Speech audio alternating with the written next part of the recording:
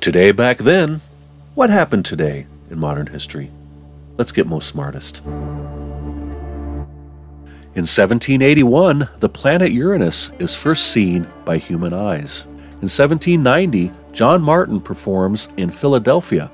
He was the first American born actor. In 1845, Felix Mendelssohn's Opus 64 violin concerto premieres.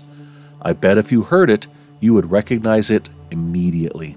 In 1852, the Uncle Sam cartoon figure makes its debut in the New York Lantern Weekly. In 1862, the U.S. federal government forbids all Union Army officers from returning fugitive slaves, effectively annulling the Fugitive Slave Act of 1850. In 1865, Confederate President Jefferson Davis signs a bill authorizing the use of slaves as soldiers during the U.S. Civil War. In 1868, the Senate begins U.S. President Andrew Johnson's impeachment trial. In 1869, the Arkansas legislature passes an anti Ku Klux Klan law. In 1877, American Chester Greenwood patents the earmuffs he invented at age 15. In 1878, Oxford University defeats Cambridge University in their first golf match. In 1881, Tsar Alexander II of Russia was assassinated in St. Petersburg by members of the far left terror group People's Will. In 1884, the United States adopts Standard Time. In 1897, San Diego State University is founded. In 1900, in France, the length of the working day for women and children is now limited by law to 11 hours. In 1905, Mata Hari performs her dance act in Paris for the first time. Oh, and she was also a German spy. In 1913, the Kansas State Legislature approves the censorship of motion pictures. In 1915, Dodgers manager Wilbert Robinson tries to catch a baseball dropped from an airplane, but the pilot substituted a grapefruit. In 1918, Leon Trotsky gains control of the Russian Red Army. Also in 1918, at the first NHL championship, the Toronto Arenas beat the Montreal Canadiens. In 1923, American inventor Lee DeForest demonstrates his sound on film moving pictures in New York City.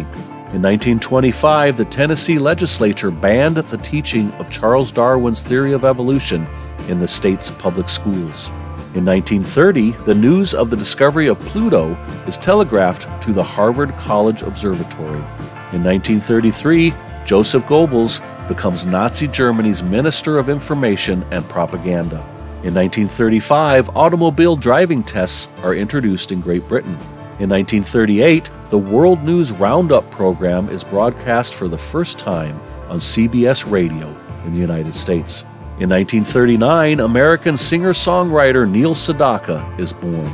In 1942, Julia Flikke of the Nurse Corps becomes the first woman colonel in the U.S. Army. In 1943, German troops liquidate the Jewish ghetto in Krakow. Apparently, the scene in Schindler's List is an accurate recreation of what occurred. Also in 1943, baseball approves the official ball. In 1947, Brigadoon opens at the Ziegfeld Theater in New York City for 501 performances.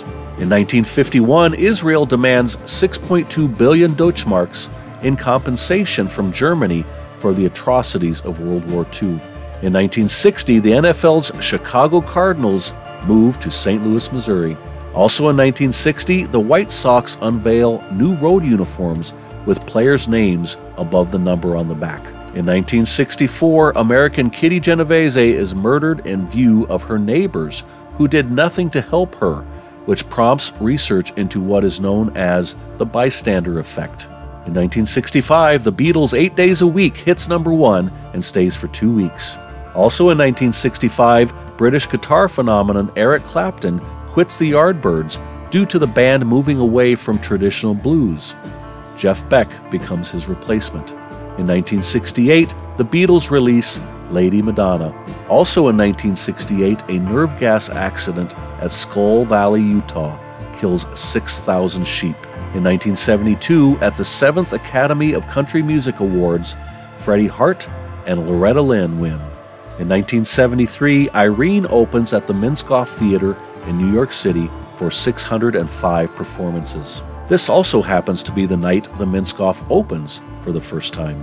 In 1975, the stage comedy Same Time Next Year, starring Ellen Burstyn and Charles Grodin, opens and runs for a total of 1,453 performances in New York City. In 1980, the Ford Motor Company is found innocent in the death of three women in a fiery Pinto crash. Also in 1980, American serial killer John Wayne Gacy receives the death sentence in Illinois for the murder of 12 people. In 1982, the ABC TV crime drama T.J. Hooker, starring William Shatner, premieres. In 1986, two Soviet cosmonauts blasted off aboard a Soyuz spacecraft to rendezvous with the space station Mir and become its first occupants. Also in 1986, at the 12th People's Choice Awards, Sylvester Stallone and Meryl Streep win for Motion Picture, and Bill Cosby and Linda Evans win for TV. In 1986 as well, Microsoft has its initial public offering. In 1987, the boss of the Gambino crime family, John Gotti, is acquitted of racketeering. In 1988, the Seikan Tunnel opens in Japan. It is the longest undersea tunnel in the world. Also in 1988, at the 14th People's Choice Awards, Michael Douglas and Glenn Close win for Motion Picture, and Bill Cosby and Cybill Shepherd win for TV. In 1989, the Space Shuttle Discovery is launched. This is the first time a woman does the countdown. In 1991, Exxon agrees to pay $1 billion for the cleanup of the Exxon Valdez oil spill in Alaska. In 1992, a 6.8 earthquake kills over 500 people in eastern Turkey. In 1996, a gunman invaded a primary school in Scotland and killed 16 young children and their teacher before turning the gun on himself. In 1997, unidentified lights appear over Phoenix, Arizona. Also in 1997, India's Missionaries of Charity chooses Sister Nirmala to succeed Mother Teresa as its leader. In 2003, the journal Nature reports that 350,000 year old footprints of an upright walking human have been found in Italy. In 2004, Luciano Pavarotti performs his last opera, it was the New York Metropolitan Opera's production of Tosca. In 2006, Rock and Roll Hall of Fame inductees include Black Sabbath, Blondie, Miles Davis, Lynyrd Skynyrd, the Sex Pistols, Herb Alpert, and Jerry Moss. In 2012, Encyclopedia Britannica announces that it was ceasing publication of its print version. Also in 2012, 110 people are killed and 63 went missing after a ferry collides with an oil tanker in Bangladesh. In 2012 as well, 28 people, including 22 children, are killed in a bus crash in Switzerland.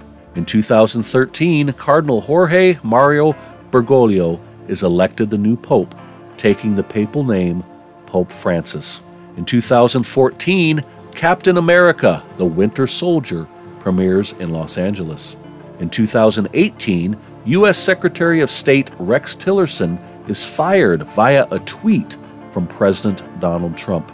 In 2019, home of civil rights activists Medgar and Myrlie Evers is established as a national monument in Jackson, Mississippi by U.S. President Donald Trump. In 2020, African American EMT Breonna Taylor was killed by Louisville, Kentucky police officers when they burst into her apartment during a botched raid. Also in 2020, Microsoft co founder Bill Gates steps down from the company's board to focus on philanthropic activities. He can philanthropic some of that money my way. And lastly, in 2021, American boxer Marvin Hagler passes away today. That was today's episode. I hope you watch many, many more. I put some in front of you, and I look forward to you subscribing to my channel.